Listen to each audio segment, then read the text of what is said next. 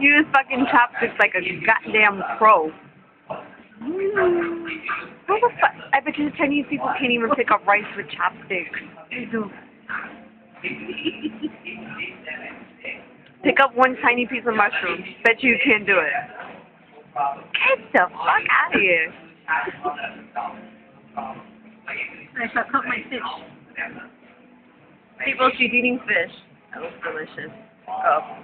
She's a fuck. She's a fucking pro.